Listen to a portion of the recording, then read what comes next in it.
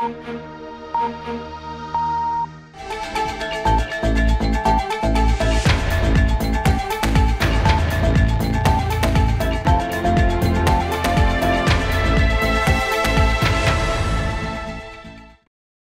္ဂလာပါခင်ဗျာ BBC မြန်မာပိုင်းရဲ့တပတ်တွင်သတင်းမြင်ကွင်းစီစဉ်ကနေကြိုဆိုပါရစေကျွန်တော်ဝေဖြိုးပါဒီတစ်ပတ်မှာတော့ရိုဟင်ဂျာတွေပေါ်ကျူးလွန်ခဲ့တာတွေဟာလူမျိုးတုံးတပ်ဖြတ်မှု genocide ကိုကာဝယ်တားဆီးရေးဆိုင်ရာနိုင်ငံတကာပြည်ညင်ကိုချိုးဖောက်တဲ့အထိဖြစ်ခဲ့ရဲဆိုပြီးမြန်မာကို The Hague မြို့အခြေစိုက်အပြည်ပြည်ဆိုင်ရာတရားရုံး ICJ မှာတရားစွဲထားတဲ့ဂမ်ဘီယာနိုင်ငံရဲ့ရှေ့နေဖွဲ့ကိုဥဆောင်နေသူ Mr. Aslan Suleiman နဲ့ BBC မြန်မာပိုင်းတို့ရဲ့သီးသန့်မေးမြန်းခန်းကိုတင်ဆက်ပေးသွားမှာဖြစ်ပါတယ်မစ္စတာဆူလီမန်ဟာ ICJ ပါဝင်နိုင်ငံတကာရုံးတော်တွေရှေ့မှောက်အချုပ်ချာအာဏာပိုင်နိုင်ငံတွေကြားပေါ်ပေါက်တဲ့အငင်းပွားမှုတွေတရားစွဲဆိုမှုတွေကိုအထူးကျွမ်းကျင်တဲ့ဝါရင့်ရှင်းနေတယောက်ဖြစ်ပါတယ်။ သူဟာဝါရှင်တန် DC မြို့တော်ခြေဆိုင် Hollyhock LLP ရှင်းနေရုံးကထိပ်တန်းရှင်းနေတယောက်ပါ။အခုတစ်ပတ်အစီအစဉ်မှာတော့ဒီအမှုရဲ့လက်တော်တိုးတက်ပြောင်းလဲလာမှုတွေကဘာလဲအခုအမှုကိစ္စဟာရခိုင်မှာလက်ရှိပေါ်ပေါက်နေတဲ့မြေပြင်အခြေအနေတွေကိုထင်ဟပ်ရလား genocide ဆွဆွဲမှုတွေမြေပြင်တပ်တွေအထောက်ထားတွေမပြောက်ပြက်အောင်ထိမ့်သိမ်းရမယ်ဆိုတဲ့ ICJ ရဲ့ကြားပြတ်အစီအမံကိုလေးစားလိုက်နာဖို့ရာလက်ရှိပေါ်ပေါက်နေတဲ့တိုက်ပွဲတွေကိုရပ်တန့်ပေးပါဆိုတဲ့ဆက်ဆောင်ကြားပြတ်မိတ်ထုတ်ပေးဖို့ ICJ ထံတောင်းဆိုလာပွဲရှိလားတခါအရေးကြီးဆုံးကတော့ဂါဇာတောင်ပိုင်းရာဖာမြို့ကိုဆက်မတိုက်ဖို့ ICJ ကအစ္စရေးကိုကြားပြတ်အမိန့်ထုတ်ခဲ့ပေမဲ့အစ္စရေးကဆက်လက်တိုက်ခိုက်ခဲ့တာကိုဥပမာထားပြီး ICJ ရဲ့အမိန့်တွေကိုတကယ်တမ်းပတ်ဝင်လာအောင်ဘလို့မျိုးတွေလုပ်နိုင်လဲစတဲ့အချက်တွေကိုဒီတစ်ပတ်အသေးစိတ်နဲ့ကြေကြေပြတ်ပြတ်ဆွေးနွေးသွားဖို့ရှိပါတယ်အခုပထမဆုံးအနေနဲ့အာဆလန်ကြီး ICJ ရုံးတော်မှာရောက်နေတဲ့ဂမ်ဘီယာနဲ့မြန်မာကြားကဒီအမှုဟာအခုသတင်းပတ်တွေထဲမှာပဲနှစ်ဖက်ကိုစားပြုသူတွေဘက်က ထပ်မံလှုပ်ဆောင်လာတာတွေရှိခဲ့တယ်လို့ကျွန်တော်နားလည်ထားပါတယ်အဲ့ဒါတွေကဘာတွေလဲဆိုတာစပြီးရှင်းပြပေးပါလားခင်ဗျ Well, um, the Gambia filed on May 23rd its reply brief in the case. မေလ23ရက်နေ့မှာဂမ်ဘီယာဘက်ကအခုအမှုကိစ္စအတွက်ထပ်ပြီးစာနဲ့ရေးသားတင်သွင်းလိုက်တဲ့ဟာကိုတုံ့ပြန်လွှာ reply brief လို့ခေါ်ပါတယ်။ခင်ဗျားမှတ်မိမယ်ထင်ပါတယ်ကျွန်တော်တို့နောက်ဆုံးစကားပြောခဲ့ကြတော့ကအခုအမှုကိစ္စဟာဘယ်အဆင့်ကိုရောက်နေပြီလဲဆိုတာကိုကျွန်တော်ပြောခဲ့ပါတယ်။အခုအဆင့်က merit phase လို့ခေါ်ပါတယ်။ နှစ်ဖက်တင်သွင်းလျှောက်ထားချက်တွေဟာဘလောက်မှန်ကန်မှုရှိတယ်မရှိဘူးဆိုတာကိုရုံးတော်ကပိုင်းခြားဆန်းစစ်ပြီးဆုံးဖြတ်ချက်ချပေးရမယ့်အဆင့်ဖြစ်ပါတယ်။ဒီ merit အဆင့်မှာနှစ်ပိုင်းပါရှိပါတယ်။ပထမတစ်ပိုင်းကတော့နှစ်ဖက်စာရေးသားတင်သွင်းချက်တွေလုပ်ကြရပါတယ်။အဲဒီနောက်မှာတော့ရုံးတော်ရှိမှောက်လာရောက်ထွက်ဆိုကြတာကိုရုံးတော်ကကြားနာပြီးဆုံးဖြတ်ချက်ချပေးမယ့်အပိုင်းဖြစ်ပါတယ်။ဒီတော့စာရေးသားတင်သွင်းကြတဲ့အပိုင်းမှာဂမ်ဘီယာကအမှုဘာလို့မြောက်ရတယ်လဲဆိုတာကိုအချက်အလက်တွေနဲ့ထောက်ပြပြောထားတဲ့ memorial လို့ခေါ်တဲ့စာနဲ့ရေးသားလျှောက်ထားချက်ကိုလုပ်ပါတယ်။ ဒီ memorial ကိုအမှုတစ်ခုလုံးရဲ့အဓိကဆွဆွဲချက်လျှောက်ထားလွှာလို့နားလည်နိုင်ပါတယ်။အဲ့ဒီအပေါ်မှာမြန်မာဘက်ကတံပြန်ပြီးခြေပလွှာ counter memorial ကိုပြီးခဲ့တဲ့နှစ်ဩဂုတ်လမှာတင်သွင်းပါတယ်။မြန်မာရဲ့ခြေပလွှာ counter memorial ကိုတော့အနှစ်သာရအဖြစ်ဒီအမှုတစ်ခုလုံးအတွက်မြန်မာရဲ့ဥပဒေကြောင်းဆိုင်ရာအဓိကခြေပချက်အဖြစ်နားလည်နိုင်ပါတယ်အခုမေ23မှာဂမ်ဘီယာတင်သွင်းလိုက်တယ်ဆိုတာကအဲ့ဒီမြန်မာရဲ့ခြေပလွှာ counter memorial အပေါ်မှာပြန်လည်တုံ့ပြန်ချက်ဖြစ်ပါတယ်အဲ့ဒီမေ23ရက်နေ့မှာပဲမြန်မာဘက်ကတင်သွင်းချက်တစ်ခုလည်းရှိနေပါတယ် အဲ့ဒါကတော့ ICJ ရုံးတော်ကချမှတ်ထားတဲ့ကြားပြတ်အစီအမံ provisional measures တွေနဲ့ပတ်သက်ပြီးမြန်မာဘက်ကဘာတွေဆောင်ရွက်ထားသလဲဆိုတဲ့အကောင့်ထဲဖော်မှုဆိုင်ရာအစီရင်ခံစာ implementation report ဖြစ်ပါတယ်။မြန်မာရဲ့အဲ့ဒီအစီရင်ခံစာအပေါ်စမ်းစစ်သုံးသပ်ချက်တွေလုပ်ဖို့ဂမ်ဘီယာမှာအခွင့်အရေးရှိပြီးတော့သတင်းနှစ်ပတ်အတွင်းမှာဂမ်ဘီယာကနေပြန်လည်ထောက်ပြရေးသားတာတွေလုပ်ဖို့အခွင့်အရေးရပါတယ်။ တော့ပြန်ပြီးချုပ်ရရင်ကျွန်တော်တို့အခုစကားပြောနေချိန်အထိနောက်ဆုံးဖြစ်လာခဲ့တာကတော့မေ23ရက်ကတင်သွင်းခဲ့ကြတဲ့ဂမ်ဘီယာရဲ့တုံ့ပြန်လွှာနဲ့မြန်မာဘက်ကတင်သွင်းတဲ့အကောင့်ထဲပုံမှုဆိုင်ရာအစီရင်ခံစာတို့ပဲဖြစ်ပါတယ်။ So Can you tell me the most ဒီတော့မြန်မာရဲ့ခုခံခြေပချက် counter memorial နဲ့ Arsenal တို့အခုနောက်ဆုံးတင်ခဲ့တဲ့တုံ့ပြန်လွှာတွေကအရေးကြီးဆုံးအချက်တွေကဘာတွေလဲဆိုတာပြောပြနိုင်မလား Yeah, I mean, I think at, at the core, Myanmar's defense is that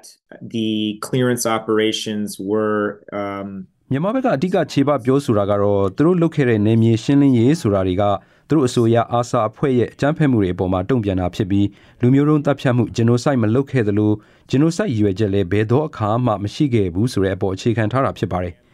ဂမ်ဘီယာဘက်ကတော့အဲ့ဒါကိုသဘောမတူပဲနေမြေရှင်းလင်းမှုစစ်စင်ရေးဆိုတာအာဆာအဖွဲ့ပေါ်မှာတုံ့ပြန်ကင်တွယ်တယ်ဆိုတာထက်အများကြီးပိုတယ်ဆိုတာကိုထောက်ပြပါတယ်။အာဆာအဖွဲ့ကိုကင်တွယ်တယ်ဆိုတာကအယောင်ဆောင်အကြောင်းပြချက် pretextual တစ်ခုအဖြစ်ပဲမြန်မာကအသုံးချခဲ့တာဖြစ်တယ်ဆိုပြီးဂမ်ဘီယာဘက်ကထောက်ပြပါတယ်။မြန်မာရဲ့ကျူးလွန်မှုတွေဟာရိုဟင်ဂျာအုပ်စုတစုလုံးအပေါ်ပြစ်မှတ်ထားခဲ့တာဖြစ်ပြီးကျူးလွန်မှုအတိုင်းအတာပမာဏကလည်းလူမျိုးတုံးတပ်ဖြတ်မှုဂျီနိုဆိုက်မြောက်တယ်ဆိုပြီးကမ်ဘီယာကပြောနေတာဖြစ်ပါတယ် ရိုဟင်ဂျာတွေအတွက်အသက်ရှင်နေထိုင်ဖို့အဆုံးစွန်ခက်ခဲစေလောက်တဲ့ကန့်သက်ချက်တွေခွဲခြားဆက်ဆံမှုမူဝါဒတွေကိုမြန်မာအာဏာပိုင်တွေကနှစ်ပေါင်းများစွာချမှတ်ထားခဲ့ပြီးလည်းဖြစ်ပါတယ်။ဒါကိုလည်းဂမ်ဘီယာဘက်ကထောက်ပြပြောဆိုပါတယ်။ဒါတော့မြန်မာရဲ့အဓိကခုခံခြေပချက် Counter Memorial တစ်ခုလုံးကအကြမ်းဖက်ဝါဒတိုက်ဖြတ်နိုင်ရေးရည်မှန်းချက်နဲ့ပြုမှုခဲ့တာဖြစ်တယ်ဆိုတာကိုအသေးစိတ်အချက်အလက်တွေထည့်သွင်းထားတာဖြစ်ပြီးတော့ဂမ်ဘီယာရဲ့တုံ့ပြန်ချက်ကတော့မြန်မာဟာရိုဟင်ဂျာတွေအပေါ်လူမျိုးတုံးတပ်ဖြတ်လူမှုအခြေခံရည်ရွယ်ချက်တွေနဲ့ကျူးလွန်ခဲ့တာဖြစ်တယ်ဆိုပြီးပြောခဲ့တာဖြစ်ပါတယ်။ ဂမ်ဘီယာအသုံးပြုတဲ့အသက်တွေထောက်ထားချက်လက်တွေအများကြီးရှိပါတယ်။အဲ့ထဲမှာကုလသမဂ္ဂကဖွဲ့ပေးထားတဲ့မြန်မာအရေးလွတ်လပ်တဲ့စုံစမ်းရေးရန်တရားဖြစ်တဲ့ IIMM အဖွဲ့ရဲ့တွေ့ရှိချက်တွေထုတ်ပြန်ချက်တွေအစီရင်ခံစာတွေလည်းပါပါတယ်။ IIMM ရဲ့တွေးရှိချက်တွေဟာလည်းရိုဟင်ဂျာတွေအပေါ်မြန်မာအာဏာပိုင်တွေရဲ့ကျူးလွန်မှုတွေဟာ genocide လုပ်လို့တဲ့ကြံရွယ်ချက်အရင်ခံတယ်ဆိုတာကိုဖော်ပြတဲ့နေရာမှာအများကြီးအထောက်အကူပြုပါတယ်။ဂမ်ဘီယာကိုကအသုံးပြုတဲ့အချက်လက်တွေက IIMM အဖွဲ့မတိုင်ခင်ကုလသမဂ္ဂအဖွဲ့ဖြစ်တဲ့အချက်လက်ရှာဖွေရေးမစ်ရှင်အဖွဲ့လက်ထက်ကလေးကတွေးရှိထုတ်ပြန်ထားတဲ့ရိုဟင်ဂျာတွေဘယ်လိုပဲပုံပြတ်မှတ်ထားခံခဲ့ရတယ်ကျူးလွန်ခံခဲ့ရတယ်ဆိုတာတွေကိုဖော်ပြထားတဲ့အသေးစိတ်အချက်လက်တွေလည်းအများကြီးပဲပါပါတယ်။အဲ့ဒီအချက်လက်တွေဟာနေမြေရှင်းလင်းရေးဆိုပြီးလှုပ်ဆောင်ရမှာရိုဟင်ဂျာအရသားတွေအပေါ်မှာပါဘလောက်ရရဆက်ဆက်ကြမ်းကြမ်းကြုတ်ကြုတ်နဲ့ပြစ်မှတ်ထားပြုမှုခဲ့တယ်လဲဆိုတာတွေကိုဖော်ပြနေပါတယ်။ကြမ်းကြုတ်ရက်ဆက်တဲ့နီးနာတွေနဲ့တပ်ဖြတ်တာမျိုးတွေမကကြေကြေပြန့်ပြန့်တဲ့ကိုနေရာအနှံ့သုံးခဲ့တဲ့နီးနာတစ်ခုကတော့ လိမ်ပိုင်းဆိုင်ရာကျူးလွန်တိုက်ခိုက်တဲ့ပုံစံတွေပဲဖြစ်ပါတယ်။ရိုဟင်ဂျာအမျိုးသမီးနဲ့မိန်းကလေးတွေအဓိကပြစ်မှတ်ထားခံခဲ့ရပြီးအမျိုးသားတွေယောက်ျားလေးတွေအပေါ်မှာပါကြံရွယ်ချက်ရှိရှိစနစ်တကျနဲ့ကိုလိမ်ပိုင်းဆိုင်ရာကျူးလွန်တိုက်ခိုက်တာတွေပြုလုပ်ခဲ့ကြောင်းဖော်ပြနေတဲ့တက်တဲ့အထောက်အထားအချက်လက်တွေလည်းပဲအများကြီးရှိပါတယ်ဒါတွေအားလုံးဟာရိုဟင်ဂျာဆိုတဲ့အုပ်စုတစုလုံးပျောက်ကွယ်သွားအောင်ကြံရွယ်ချက်ရှိရှိပြုမှုခဲ့ကြတာဖြစ်တယ်ဆိုပြီးဂမ်ဘီယာကပြောနေတာဖြစ်ပါတယ်။ဆောင်ရွက်ပုံဆောင်ရွက်နည်း operational နီးနာတွေမှာမှားယွင်းရှိခဲ့တယ်ဆိုတာထက်အများကြီးပိုမိုပြီး ဒီလူအုပ်စုတစုလုံးကိုဖျောက်ဖျက်ပြနိုင်ဖို့ဆိုတဲ့ရည်ရွယ်ချက် genocidal intent နဲ့လှုပ်ဆောင်ခဲ့ကြတာဖြစ်တယ်လို့ဂမ်ဘီယာဘက်ကထောက်ပြထားပါတယ်။ရိုဟင်ဂျာတွေအပေါ်ကျူးလွန်နေခဲ့တာနဲ့ပတ်သက်ပြီးဒါဟာနှစ်ရှည်လများရှိခဲ့တဲ့ပြဿနာကိုကင်တွယ်ဖြေရှင်းနေတာသာဖြစ်တယ်လို့ဗိုလ်ချုပ်မှုကြီးမင်းအောင်လှိုင်ကိုယ်တိုင်ဖော်ကျူးပြောဆိုခဲ့ပါတယ်။ဒါကြောင့်မြန်မာအာဏာပိုင်တွေစီမာရိုဟင်ဂျာနဲ့ပတ်သက်ပြီးရှင်းနေခဲ့ပြီးသဘောထားတွေကြံရွယ်ချက်တွေအစီအမံတွေကိုအာစာဖွဲ့ပေါ်ကင်တွယ်ဖို့ဆိုတဲ့အကြောင်းပြချက်အောက်မှာအကောင့်ထဲပေါ်လာတာဖြစ်တယ်လို့ခံပြဘက်ကထောက်ပြထားပါတယ် So can we understand that the case is now moving ahead and ဒီတော့လက်ရှိအခြေအနေကဒီအမှုကိစ္စဟာရှေ့ကိုထပ်တိုးသွားပြီးရုံတော်ဘက်က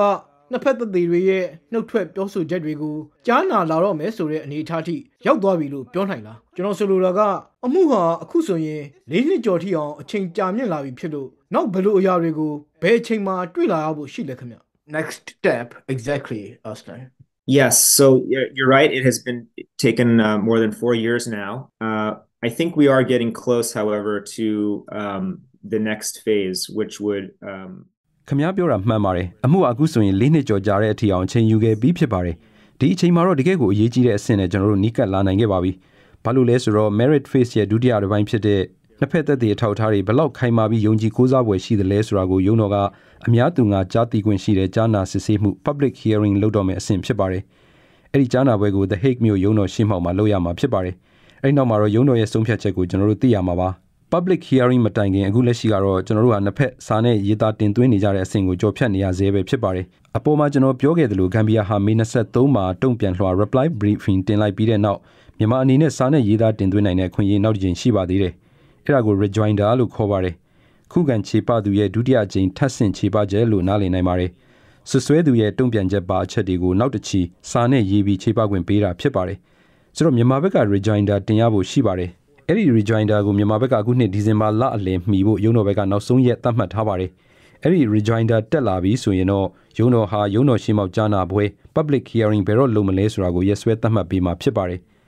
တို့လာမယ့်နှစ်ထဲမှာတော့ The Hague မြို့ ICJ ရုံးတော်ရှိရာငင်းငယ်ရေးနန်းတော်မှာ ကြားနာပွဲပြုလုပ်လာမယ်လို့ကျွန်တော်တို့မျှော်လင့်ထားပါတယ်ဒီကြားနာပွဲမှာနှစ်ဖက်လျှောက်ထားချက်တွေကိုနှစ်ဖက်ကိုယ်စားလှယ်တွေလူကိုယ်တိုင်နှုတ်နဲ့လျှောက်ထားပြောဆိုတာမျိုးတွေမကလူသက်တွေတွေလာရောက်ပြီးထွက်ဆိုတာမျိုးလဲရှိကောင်းရှိနိုင်ပါတယ်ဒါပေမဲ့လူသက်တွေတွေမဖြစ်မနေလာပြီးထွက်ဆိုရမယ်ဆိုတာမျိုးတော့မဟုတ်ပါဘူးကျွန်တော်တို့စာနဲ့ရေးသားတင်သွင်းထားတာတွေထဲမှာလူသက်တွေအများအများရဲ့ထွက်ဆိုချက်တွေအသေးစိတ်ပါဝင်ထားနေပြီဖြစ်ပါတယ် Um some critics say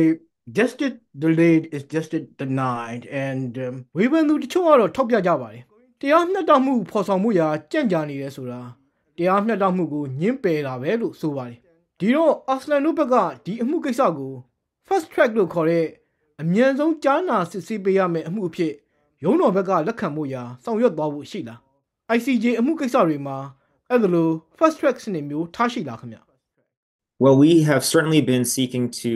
uh, expeditiously move the case along. ကျွန်တော်တို့အနေနဲ့တော့အမှုကိုမြန်မြန်ဆန်ဆန်နဲ့ထိထိရောက်ရောက်ရှေ့ကိုတိုးနိုင်အောင်အမြဲပဲစူးစမ်းကြံဆောင်နေပါတယ်။ဒါပေမဲ့လည်းအမြန်လမ်းကြောင်း fast track ဆိုတာမျိုး ICJ မှာမရှိပါဘူး။ ICJ ရဲ့လှုပ်ထုံးလုံနည်းကတော့နှစ်ဖက်လှုပ်ဆောင်ရမှာတွေကိုနောက်ဆုံးထားလှုပ်ဆောင်ဖို့လိုတဲ့ရက်စွဲတွေကိုချမှတ်ပေးပါတယ်။ဒီလိုနည်းနဲ့အမှုကတစ်ရှေ့ကိုတစ်ဆင့်ချင်းတိုးသွားတာမျိုးဖြစ်ပါတယ်။ဂမ်ဘီယာအနေနဲ့ရုံးတော်ရဲ့တတ်မှတ်ရက်စွဲမတိုင်ခင်စောစီစီတင်သွင်းနိုင်တဲ့အခါမျိုးတွေလည်းရှိခဲ့ပါတယ်။ဥပမာပြောရရင်ကနဦးကြားနာမှု preliminary hearing အဆင့်တုန်းကဆိုရင် မြန်မာဘက်က ICJ ဟာအခုကိစ္စမှာတရားစီရင်ပိုင်ခွင့်မရှိဘူးဆိုတဲ့အခြေခံနဲ့အမှုတစ်ခုလုံးကိုပတ်လက်ပြစ်နိုင်ဖို့ကြိုးစားခဲ့ပါတယ်။အဲ့ဒီအချိန်ကဆိုရင်ဂမ်ဘီယာဘက်ကရှောက်ထားချက်ကိုတတ်မှတ်ရက်ထဲလတချို့စောပြီးတင်သွင်းနိုင်ခဲ့ပါတယ်။ဂမ်ဘီယာဘက်ကယူရတာကတော့စောစောစီးစီးနဲ့လှုပ်ရှားရှိတာတွေကိုပြီးအောင်လုပ်မယ်ဆိုရင်အမှုကိစ္စရှေ့ကိုမြန်မြန်ရောက်နိုင်ဖို့အထောက်အကူဖြစ်လိမ့်မယ်ဆိုပြီးလုပ်ခဲ့တာပါ။ဒါမဲ့လည်းအချိန်ကုန်သက်သာပါစီတော့ဆိုပြီးဂမ်ဘီယာရဲ့ရည်မှန်းချက်အထမြောက်မလာခဲ့ပါဘူး။ အကြောင်းကတော့မြန်မာနိုင်ငံထဲမှာအခြေအနေတွေပြောင်းလဲသွားပြီးစစ်အာဏာသိမ်းတဲ့ကိစ္စရဲ့နောက်ဆက်တွဲရိုက်ခတ်မှုတွေပေါ်ပေါက်လာခဲ့လို့ပါ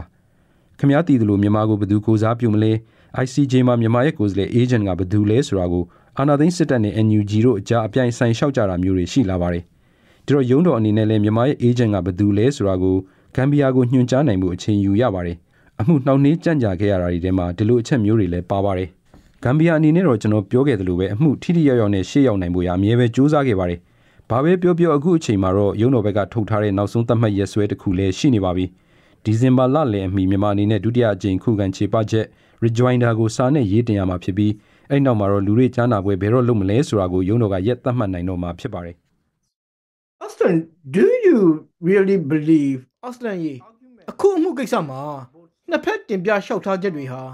မြန်မာနိုင်ငံနဲ့လက်ရှိပေါ်ပေါက်နေတဲ့မြေပြင်အခြေအနေတွေကိုရောတကယ်တမ်းထင်အပ်နေတယ်လို့ထင်လား ရခိုင်နဲ့ရိုဟင်ဂျာအများစုနေတဲ့နေရာတွေမှာပါအခုဆိုရင်ပြည်ရင်းစစ်အကြီးအကျယ်ဖြစ်နေတယ်ဆိုတဲ့အချက်ဟာအာဆလန်တို့အခုပြောနေတာတွေထဲမှာပါဝင်ပါသလားခင်ဗျလက်ရှိအနေအထားကိုထင်ဟပ်ပြသနေလား What is going on in Arakan state Well, in a in a way, um, yes and no. So um, the core of the argument as to um, when ထင်ဟပ်မှုရှိလဲရှိတယ်မရှိလဲမရှိဘူးဆိုပြီးဒီမေးခွန်းကိုတော့ yes and no ရဲ့လို့ဖြေရမယ်ထင်ပါတယ်အခုအမှုကိစ္စမှာကျွန်တော်စိုက်မြောက်တယ်ဆိုပြီးကျွန်တော်တို့ပင်မအခြေခံထားတဲ့အချက်လက်တွေအဖြစ်အပျက်တွေက2016နဲ့18မြေပြင်ရှင်းလင်းရေးဆိုပြီးမြန်မာစစ်တပ်ကလုပ်ခဲ့တဲ့ဒုံကပေါ်ပေါက်ခဲ့တဲ့ဖြစ်ရပ်တွေပါဒါပေမဲ့ခမားသိတဲ့အတိုင်း ICJ ကချမှတ်ထားတဲ့ဂျားပြတ်အစီအမံဆိုတာတွေဟာကျွန်တော်စိုက်လုပ်ရက်တွေထပ်ပြီးမဖြစ်ပေါ်ဖို့ကာကွယ်ရမယ်ဆိုတာတသက်မဟုတ်ပါဘူး ဘာတွေဖြစ်ပျက်ခဲ့သလဲဆိုတာကိုဖော်ပြနေတဲ့ရှင်းနှင်ပြီးသက်သေအထောက်အထားတွေမပြောက်ပြက်အောင်ထိမ့်သိမ်းစောင့်ရှောက်ရမယ်ဆိုပြီးတော့လေရုံးတော်ကချမှတ်ထားတာဖြစ်ပါတယ်။အဲ့ဒါအပြင်ရုံးတော်အနေနဲ့မြန်မာဘက်ကအဲ့ဒီကြားပြတ်စီမံနေအတိုင်းဘာတွေလှုပ်ဆောင်နေသလဲဆိုတာရုံးတော်စီပြန်လဲတင်ပြအစီရင်ခံရတဲ့စနစ်ရန်တရားတစ်ခုကိုလည်းဖန်တီးပေးထားပါတယ်။ဒါတော့မြန်မာဘက်ကသူတို့လှုပ်ဆောင်နေတာတွေကိုအစီရင်ခံစာတင်ရပြီးဂမ်ဘီယာဘက်ကလည်းမြန်မာတင်တဲ့အကောင့်ထဲပုံမှုအစီရင်ခံစာပါအချက်တွေပေါ်မှာတံပြန်သုံးသပ်ဝေဖန်ခွင့်ရှိပါတယ်။ ဂမ်ဘီယာရေးသားတင်သွင်းသမျှတွေထဲမှာမြန်မာနိုင်ငံထဲရှိနေကြဆဲရိုဟင်ဂျာတွေရဲ့လက်တလောအခြေအနေအကြောင်းတွေကိုပါထည့်သွင်းပြီးရုံးတော်ကိုအသိပေးလေးရှိပါတယ်။အခုဆိုရင်လည်းမြန်မာဘက်ကအကောင့်ထဲပုံမှုအစီရင်ခံစာကိုမေ23မှာတင်သွင်းခဲ့ပြီးဖြစ်တဲ့အတွက်အဲ့ဒီအစီရင်ခံစာပေါ်မှာဂမ်ဘီယာရဲ့စမ်းစစ်ချက်လည်းမကြခင်မှာပဲတင်သွင်းဖို့ရှိပါတယ်။အဲ့ဒီထဲမှာရခိုင်ထဲမှာရှိနေတဲ့ရိုဟင်ဂျာတွေရဲ့လက်ရှိအခြေအနေတွေပါဝင်မှာဖြစ်ပါတယ်။ရခိုင်ထဲကရိုဟင်ဂျာတွေဟာအခုချိန်ထိလူမျိုးတုံးတပ်ဖြတ်မှုမြောက်တဲ့လုပ်ရက်တွေရဲ့ပြစ်မှတ်ထားမှုကိုခံနေရဆဲထိခိုက်လွယ်အခြေအနေဖြစ်တယ်ဆိုတဲ့အချက်ကို ဂမ်ဘီယာကရုံးတော်စီကိုအသိပေးမှာဖြစ်ပါတယ် So are you preparing to ဒီတော့အော်စတန်တို့အနေနဲ့ရခိုင်နဲ့ရိုဟင်ဂျာတွေနေတဲ့နေရာတွေမှာပေါ်ပေါက်နေတဲ့လက်နက်ကင်ပဋိပက္ခတွေရပ်တန့်ရမယ်ဆိုတော့ထက်ဆင့်ကြားပြတ်အစီအမံမျိုး ICJ ဘက်ကချမှတ်လာဖို့ရာတောင်းဆိုသွားဖို့ပြင်ဆင်ထားပါသလားခင်ဗျ we are looking very closely at the developments and ကျွန်တော်တို့ဟာရခိုင်တဲ့အခုဖြစ်ပျက်နေတဲ့အခြေအနေတွေကိုတတိကြီးကြီးထားပြီးနီးနီးကပ်ကပ်နဲ့အသေးချာစောင့်ကြည့်လေ့လာနေပါတယ် အဲ့ဒီမှာအခြေအနေတွေကဆိုးရွားနေပါတယ်မြန်မာစစ်တပ်နဲ့ Arkan Army AA ကြားမှာပေါ်ပေါက်နေတဲ့လက်နက်ကင်ပြိပက္ခကအရက်သားတွေအပေါ်မှာကြီးမားတဲ့အတိုင်းအတာနဲ့တက်ရောက်နေတာတွေကိုဖော်ပြနေတဲ့သတင်းအချက်လက်တွေအစီရင်ခံစာတွေလည်းပဲကျွန်တော်တို့ရထားပါတယ်လူမှုအတိုင်းဝိုင်းတစ်ခုကြားပြိပက္ခပေါ်ပေါက်လာအောင်မြန်မာစစ်တပ်ကဖန်တီးနေတဲ့လုပ်ရတွေကိုလည်းကျွန်တော်တို့တွေ့နေရပါတယ်ရိုဟင်ဂျာတွေအပါအဝင်အရသားတွေကိုသူတို့အတွက်တိုက်ခိုက်ပေးဖို့အတင်းအဓမ္မစစ်သားတွေအဖြစ်တင်သွင်းစုဆောင်းတာမျိုးကိုလည်းကျွန်တော်တို့သိထားပါတယ်ဒီအပြုတ်မှုအလုံးဟာ ICJ ကချမှတ်ထားတဲ့ကြားပြအစီအမံတွေကိုချိုးဖောက်ရာရောက်ပါတယ် ထိခိုက်လွယ်တဲ့ရိုဟင်ဂျာရက်သားတွေဟာပြစ်မှတ်ထားခံနေရဆဲဖြစ်တယ်ဆိုတဲ့အချက်ကိုပေါ်လွင်စေပါတယ်ဒီအကြောင်းအရာတွေအားလုံးကိုဂမ်ဘီယာကရုံးတော်ကိုအသိပေးသွားမှာဖြစ်ပါတယ်ထပ်ဆောင်ကြားပြအစီအမံတွေချမှတ်ဖို့ရုံးတော်ကိုတောင်းဆိုသွားမလားဆိုတဲ့ခမည်းမေးခွန်းကိုတိုက်ရိုက်ဖြေရရင်တော့ဂဂမ်ဘီယာအနေနဲ့အခြေအနေအလုံးပေါ်မှာစိတ်ငုံမိအောင်ဆန်းစစ်နေပြီးတော့စင်ကျင်သုံးသပ်နေပါတယ်ကြားပြအစီအမံတွေထဲမှာနောက်ထပ်အချက်တွေထည့်သွင်းဖို့လိုအပ်နေပြီလို့ယူဆတဲ့အခါလိုအပ်ရင်လိုအပ်တယ်လို့ရုံးတော်စီကိုတင်ပြတောင်းဆိုသွားမှာဖြစ်ပါတယ် do what's necessary for that We have seen that Israel keeps fighting in Rafah despite Israel ကို Rafah မှာစက်မတိုက်ဖို့ ICJ ကအမိန့်ချထားတဲ့ကြားကပဲ Israel ဘက်ကတော့ဆက်ပြီးတိုက်ခတ်ခဲ့တာကိုကျွန်တော်တို့တွေ့မြင်ခဲ့ရပါတယ်ဒီတော့ ICJ မှာအခုလိုမျိုးအမှုဆွဲဆိုရဲဆိုတာကျင့်ဝတ်ဇာရိတပိုင်းဆိုင်ရာရှုထောင့်အမြင် idealism အခြေခံကနေလှုပ်ဆောင်ပြတဲ့သင်္ကေတဆောင်အပြုအမူမျိုးတက်တက်ပဲလားတကယ်ကိုမြေပြင်မှာတရားမျှတမှုတွေဖော်ဆောင်ပေးနိုင်တယ်ထိခိုက်ခံစားနေရသူတွေတက်တာရရနိုင်တယ်ဆိုတဲ့ ယုံကြည်မှုမျိုးတကယ်တမ်းရှိလားလက်တွေ့မှာရောတရားမျှတမှုနဲ့တက်တာရရရရကြောင်းတွေဖော်ဆောင်ပေးဖို့ရဘယ်လောက်ဖြစ်နိုင်လဲခင်ဗျ we absolutely are seeking justice and accountability for the crimes of genocide committed against the Rohingya. Um, the issue you ရိုဟင် raised ဂျာတွေအပေါ်ပြစ်မှတ်ထားကျူးလွန်တဲ့လူမျိုးတုံးတပ်ဖြတ်မှုမှာခံစားနေနာခဲ့ရသူတွေအတွက်တရားမျှတမှုရှာဖွေပေးနိုင်ရေးနဲ့ကျူးလွန်သူတွေကိုအပြစ်ပေးအရေးယူနိုင်ရေးတို့အတွက်ကျွန်တော်တို့အပြည့်အဝရည်မှန်းထားပြီးလှုပ်ဆောင်နေတာဖြစ်ပါတယ်။ ခမားထောက်ပြခဲ့တာက ICJ ရုံးတော်အနေနဲ့သူတို့ရဲ့ကြားပြအစီအမံအမိန့်တွေကိုတကယ်တမ်းအကောင့်ထဲပေါ်လိုက်နာကြဖို့ရာဘယ်လိုပဲပုံနဲ့အမိန့်အာဏာတက်ရောက်စေနိုင်မလဲအမိန့်အာဏာတက်ရောက်နိုင်စွမ်းရောတကယ်ရှိရလားဆိုတဲ့ပြဿနာဖြစ်ပါတယ်။ ICJ ရုံးတော်လည်းပဲအစိပ်ပိုင်းတစ်အနေနဲ့ပါဝင်နေတဲ့ကုလသမဂ္ဂရဲ့လက်ရှိစနစ်အရ ICJ ကနေကြားပြအစီအမံတွေဆုံးဖြတ်ချက်ချမှတ်လိုက်ပြီးဆိုရင်အဲ့ဒီအမိန့်တွေဟာနိုင်ငံတကာဥပဒေအောက်အဖွဲ့ဝင်နိုင်ငံတွေဘက်ကမဖြစ်မနေလိုက်နာဆောင်ရွက်ဖို့လိုတဲ့ ဥပဒေနဲ့ထုံးနှောင်ထားတဲ့အမိန့် binding order တွေဖြစ်ပါတယ်ဒီအမိန့်တွေကိုလက်တွေ့ဖြစ်မြောက်အောင်အကောင့်ထဲပေါ်ခိုင်းဖို့ရအတွက်လည်းအမိန့်အာဏာတက်ရောက်စေနိုင်တဲ့စနစ်ရန်တရားတချို့ကုလသမဂ္ဂထဲမှာဖော်ဆောင်ထားရှိပါတယ်အခြေခံအဖြစ်တော့ကုလသမဂ္ဂလူညွေးကောင်စီကနေတဆင့်သွားတာမျိုးပါ ICJ ရဲ့ကြားပြအစီအမံထွက်လာပြီးဆိုရင်လုံခြုံရေးကောင်စီကိုလည်းတပါးတည်းအသိပေးပါတယ်ဒီတော့လုံခြုံရေးကောင်စီအနေနဲ့လည်းဒီကြားပြအစီအမံပါချက်တွေကိုသိနေပြီး မလိုက်နာတဲ့ဖောက်ဖျက်တဲ့ဘက်ကိုလုံခြုံရေးကောင်စီကိုပေးအပ်ထားတဲ့အခွင့်အာဏာတွေကိုသုံးပြီးအရေးယူတာမျိုးလုပ်နိုင်ပါတယ်အဲ့လိုလုံခြုံရေးကောင်စီကနေတဆင့်မဟုတ်ရင်လည်း ICJ ရုံးတော်စီမှာကိုတီးခြားအခွင့်အာဏာတွေရှိပြီးဆက်လက်ကျူးလွန်ဖောက်ဖျက်နေတဲ့နိုင်ငံဘက်ချမ်းကိုအပြစ်ပေးအရေးယူနိုင်ပါတယ်ဥပဒေအရစီးနှောင်မှုရှိတဲ့လိုက်နာရမယ့်ကြားပြအစီအမံကိုနိုင်ငံတစ်ခုကဖောက်ဖျက်နေပြီဆိုရင်အမှုတစ်ခုလုံးရဲ့အဆုံးသက်အဆုံးအဖြတ်အမိန့်ဟာလည်းအဲ့ဒီကျူးလွန်ဖောက်ဖျက်နေတဲ့နိုင်ငံဘက်ကရှိနေဖို့အခွင့်အလမ်းနှဲသွားပြီဖြစ်ပါတယ်။အခြေခံအဖြစ်နားလည်နိုင်တာကတော့ အမှုအဆုံးသက်မှာ genocide ပြည်ရင်ဖောက်ဖျက်ကျူးလွန်ကြောင်းဆုံးဖြတ်ခံရတဲ့နိုင်ငံအနေနဲ့တိကျအမိန့်နှစ်ရပ်ကိုလိုက်နာဆောင်ရွက်ဖြည့်ဆည်းပေးရမှာဖြစ်ပါတယ်။နံပါတ်1ဂျာပြအစီအမံတွေကိုမလိုက်နာခဲ့တဲ့အတွက်လှုပ်ဆောင်ပေးရမှာတွေနဲ့နံပါတ်2 genocide ပြည်ရင်ကိုဖောက်ဖျက်ခဲ့တဲ့အတွက်လိုက်နာဆောင်ရွက်ဖြည့်ဆည်းပေးရမှာတွေဆိုပြီးတာဝန်နှစ်ဆတိုးယူသွားရမှာဖြစ်ပါတယ်။ဘာတွေဖြည့်ဆည်းပေးမလဲဆိုတာကိုကာယကံရှင်နိုင်ငံဘက်ကတင်ပြနိုင်တယ်လို့ရုံးတော်ကလည်းအဲ့ဒီတင်ပြချက်တွေဟာထိခိုက်ခံစားနစ်နာခဲ့ရသူတွေအတွက်လုံလောက်မှုရှိလားဆိုတာကိုစင်ကြင်သုံးသပ်ပြီး ဘာတွေထပ်ပြီးလုပ်ဖို့လိုတယ်ဆိုတာကိုညွှန်ကြားမှာဖြစ်ပါတယ်။အခုအမှုမှာဂမ်ဘီယာဘက်ကရည်မှန်းလှုပ်ဆောင်နေတာကတော့ရွန်ဂျာရီအပေါ်ဂျီနိုဆိုက်မြောက်အောင်အထိကျူးလွန်ခဲ့မှုအတွက်မြန်မာမှာတာဝန်ရှိကြောင်းနဲ့ရှိလက်စအပြုမှုတွေအားလုံးကိုလည်းရပ်တန့်ပြီးနောက်ထပ်မဖြစ်အောင်လဲမြန်မာအနေနဲ့အာမခံချက်ပေးဖို့ဖြစ်ပါတယ်။ဒါပြင်ရိုဟင်ဂျာတွေရတဲ့ရတဲ့အခွင့်အရေးတွေအားလုံးနဲ့ရရစီမယ်ဆိုပြီးမြန်မာဘက်ကတာဝန်ယူအာမခံလာဖို့ဖြစ်ပါတယ်။ဒီအထဲမှာနိုင်ငံသားအဖြစ်အသိမှတ်ပြုခံရဖို့လည်းပါပါတယ်။ လွတ်လပ်စွာသွာလာလှုပ်ရှားခွင့်မရှိဘဲဆယ်စုနှစ်များစွာပိတ်နှောင်ကန့်သက်ခံထားရတဲ့တွေကိုပယ်ဖျက်ရေးလည်းပါဝင်ပါတယ်။ရိုဟင်ဂျာတွေရဲ့အသက်ရှင်ရပ်တည်နိုင်ခွင့်မိသားစုဘဝတွေတိဆောက်ထူထောင်နိုင်ခွင့်တိုင်းပြည်ကပံ့ပိုးပေးတဲ့ကျန်းမာရေးနဲ့ပညာရေးဆိုင်ရာစောင့်ရှောက်မှုတွေကိုလည်းရရှိပိုင်ခွင့်ဒါတွေအားလုံးပါဝင်ပါတယ်။အဲ့ဓာတွေအပြင်အိုးအိမ်တွေဖျက်ဆီးခံခဲ့ရတာမျိုးမိသားစုဝင်တွေတပ်ဖြတ်ခံခဲ့ရတာမျိုးစိုက်ပျိုးမွေးမြူရေးအသက်မွေးဝမ်းကြောင်းမှုတွေဆုံးရှုံးခဲ့ရတာလိုမျိုးပုံစံအမျိုးမျိုးနဲ့ထိခိုက်နစ်နာသူတွေအတွက် reparation လို့ခေါ်တဲ့ ပြန်လည်ဖြည့်ဆည်းပံ့ပိုးပေးတာတွေနစ်နာကြေးပေးတာမျိုးတွေမြန်မာဘက်ကပြုလုပ်ပြီးတာဝန်ယူလာပေးဖို့လေခံဘီယာကရည်ရွယ်ထားပါတယ်။ဒါတွေအားလုံးကိုခံဘီယာဘက်ကတောင်းဆိုထားပြီးရုံးတော်ရဲ့အဆုံးသက်ဆုံးဖြတ်ချက်ရဲ့အစိပ်အပိုင်းအနေနဲ့ဥပဒေကြောင်းမှာ remedy လို့ခေါ်တဲ့ရော်ကြီးပုံစံအမျိုးမျိုးဘယ်လိုပဲပုံမြန်မာဘက်ကဖြည့်ဆည်းရမယ်ဆိုတာကိုချမှတ်လာဖို့ဂမ်ဘီယာဘက်ကမျှော်လင့်ထားပါတယ်ဒါတွေကတော့ ICJ အမှုကိစ္စမှာဂမ်ဘီယာရဲ့ရှေ့နေဖွဲ့ကိုဥဆောင်နေသူတယောက်ဖြစ်တဲ့အော့စလန်ဆူလီမန်နဲ့ပြည်သက်မင်းမြန်းခန်းကိုတင်ဆက်ခဲ့တာဖြစ်ပါတယ် BBC ရဲ့သတင်းတွေကို www.bbcburmese.com မှာလည်းအချိန်နဲ့တပြေးညီတင်ဆက်ပေးနေပါတယ်။ဒါ့အပြင် Facebook, YouTube, X နဲ့ Instagram တွေပေါ်မှာလည်း BBC မြန်မာပိုင်းရှိနေပါတယ်ခင်ဗျာ